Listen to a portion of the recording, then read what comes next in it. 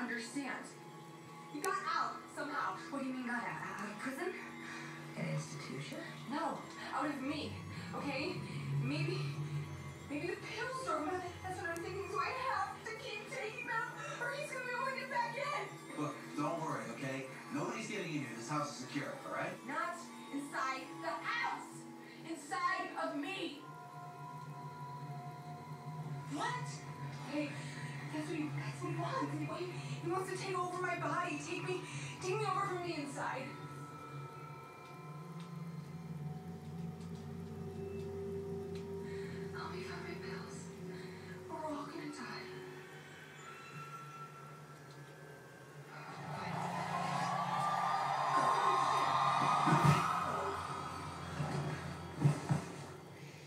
Fucking A, about time someone clocked that crazy bitch.